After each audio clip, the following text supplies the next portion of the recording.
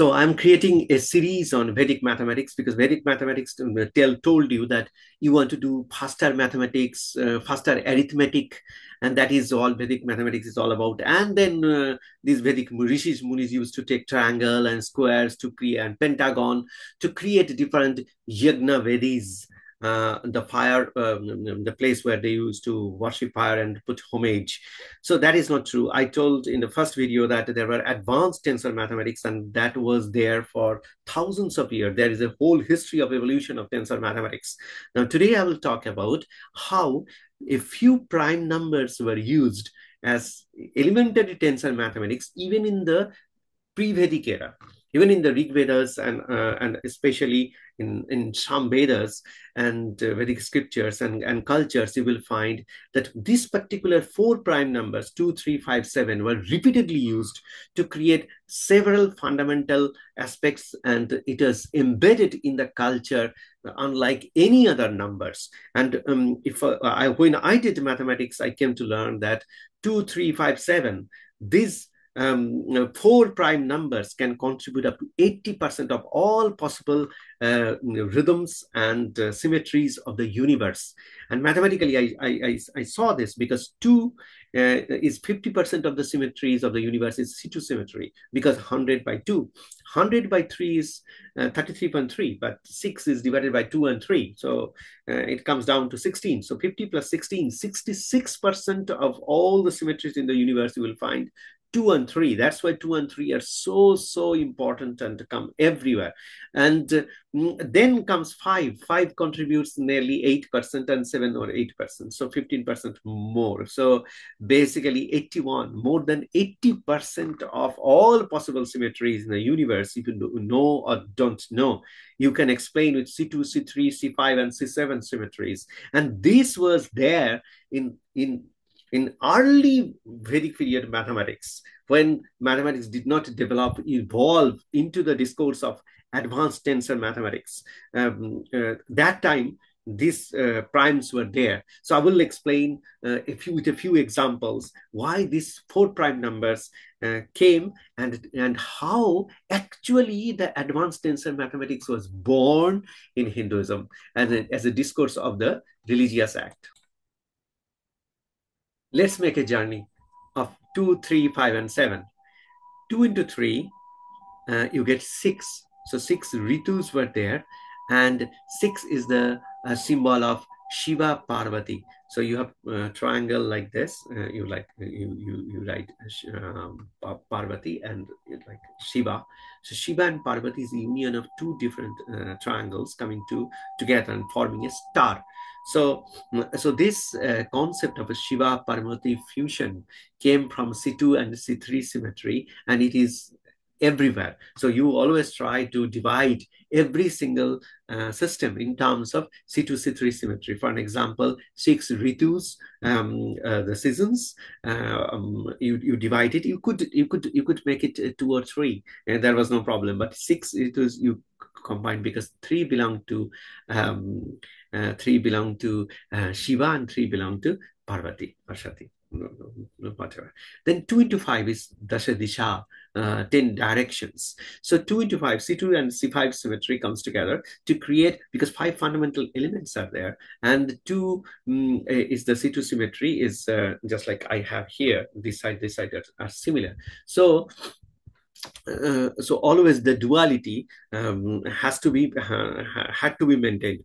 So if you have uh, 10 directions in the urdhaloka 10 directions will be in the sukshmaloka so uh, that's why c2 into c5 uh, you have uh, dasha disha. So 10 different fundamental directions. I don't know in today's today's kids don't learn this but purva paschim uttar dakshin um, you know Uh, uh, uh, mm, and and then northeast, southeast, and all these four corners and Udada.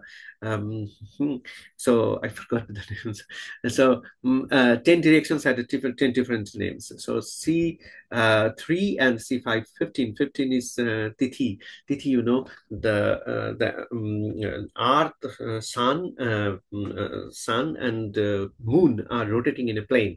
So the planar difference between Earth and Moon, and then mm, Earth and the Sun, there is a there is a uh, four degree gap, and that gap is um, that gap is always there. So you uh, based on the, how that gap is uh, ch changing into um, into the into whole 360 degree you divide uh, you get a month. So uh, the, based on that a tithi is created. So we do not uh, count a date.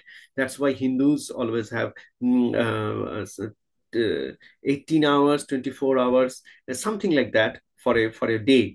Um, and that varies and that creates a problem. So 3 3 into c5 symmetry 3 is 3 guna sattva and 5 fundamental elements. So it's a c3 into c5 you always take 15 boxes and you try to um, create completeness or, or loop because uh, 3 guna panchatatta 3 guna creates every single materials of the universe. So uh, uh, C2, C3 is Hara Parvati fusion, the duality, mm, and gunas come. And then uh, uh, C2, C5 is um, elements with duality, gives you directions or different dimensions that you can think of. C3, C5 is gives you all the materialistic universe. That, that is Paksha. And uh, C2, C7 uh, it creates uh, 14 lokas. And as you know, C2, C7, that's why seven notes are there. Um, uh, and uh, Aroha, Avaroha, the fundamentals of ragas were there. And uh, then finally comes a C3, uh, C3, C7. C3, C7 are 21 um, different kind of um, Sulabha Siddhanta. It was there. I will get back to that. So Sulabha Siddhanta mathematics, the first tensor was born in C3, C7. So you create uh, 21 different kind of uh, kind of geometries to create a Yagnavedis. And uh, Yagnavedi geometry, uh, you have to understand how you uh, designed the the the firing place where you burn the fire. That's very very important. And you have you thought about cavity resonance? If you think of cavity resonance or cavity resonators then you will understand how electromagnetic wave needs to be packed in a different dimensions to generate different kind of uh, frequency notes or fundamental notes just like uh, musical notes. So the musical the mathematics of music came from the from the early C3, C7 symmetries. So seven C3 and C7 symmetries uh, gave us um, uh, gave us all different kind of geometries of Yagnavedis. And C3, C7 was used in Sanskrit. So when you uh, create Sanskrit, um, uh, Ek Bachan, Dvachan, Bahubachan, seven Karakas, and three past, present, future. So you created three cross three cross seven. So three cross seven is a common two different dimensions come together to create a three-dimensional perspective in the Sanskrit grammar. So that uh, 3 cross 7 uh, will come alternately whenever you want to create uh, three or higher dimensional tensors. Mm, and that you generate also in the uh, Yagnavedis. Um, then finally, it comes uh, 5 into 7, uh, 35. So 5 into 7, 35 comes from um, Samveda uh, uh, mm, melodies. So in some Vedas, there were 35 different rhythms, and I have selected them, and I have already created a um, uh, created a episode where where I have noted all the 37 different kind of Vedic rhythms. Uh, and 35 of them actually comes from Samveda and later several other rhythms were added. So, um, so if you want to sing or music, you want to resonate with the infinity uh, to the to the to the uh, whole, um, then you need to get into C3 into C7. So that's why uh, two, three, five, seven combined together constructs the very foundation of very early uh, Vedic period. If we want to learn more about uh, uh, 3 cos 7, 21 different Vedis, Yagna Vedis, uh, altars, and uh, uh, 3 into 7, uh, 35 different kind of classes of rhythms, as mentioned in Samveda, then um, we have to get into Yajurveda also, because Sulabha Sutra is from Yajurveda, and that, uh, that particular mathematics. Always we have to remember the cosmological rhythms when we try to build in into our mathematics. Started from c3 and uh, sorry c5 c7 so 5 into 7 uh, uh, saptarishis um, were there um, for seven different kind of um, uh, seven different kind of rishis or, or, or um, uh, kind of sacrifices that you can you can you can generate with C3 three, three different different uh, uh gunas. So uh, Sulabha Sutra is not the only um, only text uh, in that in that in that period. It is essential that we um, put Taittiriya Samhita and uh, Sulabha Sutra side by side because uh, uh, Mm, uh, uh, Taittiriya Samhita is arguing that there are 35 cosmological rhythms in the whole universe. So if we look at the stars, they looked at stars for thousands and thousands of years, and then the knowledge passed on that how many different kind of rhythms that they see in the cosmological order, and and through their different mathematics. So they compiled into Taittiriya Samhita the 35 rhythms should be there fundamentally. Of course, you can combine and you can um, create many derivatives. However, that 35 number, C3, C7, uh, has to combine with uh, C3, C7 in a Sulabha Sutra, that how many ways uh, 35 bricks, how 35 different units you have to uh, take and then combine them together to create a Yagnavedis.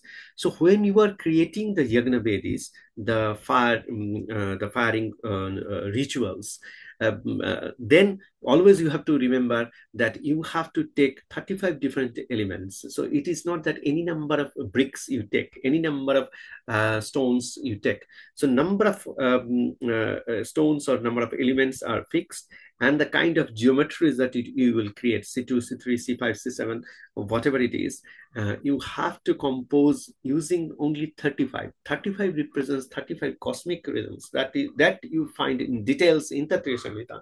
However, remember, as I told you, that uh, Hindu culture and Hindu um, worship system was actually uh, implementation of different cosmic events into your life. So when uh, when Taittiriya Samhita talks about rituals mm, and 35 day rituals and many different kind of uh, festivals, everywhere uh, they suggest to cleverly include uh, this number 35 and a C3, C7 symmetry. So 35 is less important than C3, C7 symmetry combining together. So you will find in the Yagnavedis or Vedikas or, or altars, firing altars, and also different cultural festivals. So if you, you have to put Sulabha Sutra and Taittiriya Samhita together to understand its uh, true implications. I must say that uh, there is uh, Baudhayana's uh, Sulabha Sutra and Katyayana's Sulabha Sutra. Katyayana's Sulabha Sutra is C3 into C7 symmetry. He, he described in combination of these two symmetries how uh, it unfolded in unfolds in the universe and how it should be included in creating uh, systems. But um, uh, C3 into C, uh, C7, this was Baudhayana Sulabha Sutra. That is um, uh, that is different. So, so these two should not be mixed. Uh, one is talking about the um, the altars, the geometries that that you should have, and uh, the other one, um, and the katanas um, Sutra is talking about the number of components that you will be using. So you see that the nesting of different uh, dual primes was very fundamental. And we were so inspired by this particular mathematics, we started exploring uh, how two different primes could come in and contribute to to to the construction of the uh, of the universe. Because um, early vedic period started this culture but later part of the vedic period we do not find uh, expansion of this particular mathematics. And we found beautiful thing so my life, whole life has been exploring triplet or triplets in many different kind of systems. So uh, three cross three, you will find this is a statistically most dominating prime in the universe. But the second one is C5, C11. I'm not saying Vedic Munis and Rishis invented everything to the perfect. but why not take it forward do uh, contribute something fundamental to this kind of concepts because after after uh, vedic era even hindus didn't take it up and took it forward the combination of primes so apart from higher dimensional tensors um, 4 cross 4 and 8 cross 8 tensors that I talked about in our first video of our uh, Vedic mathematics series. The second thing that we did contributed is identifying two different dominating primes or three different dominating primes that are there, which are regulating different kind of dynamics of the universe. Uh, that's all here for today. So do like and uh, if you like it, uh, press the like button and then subscribe.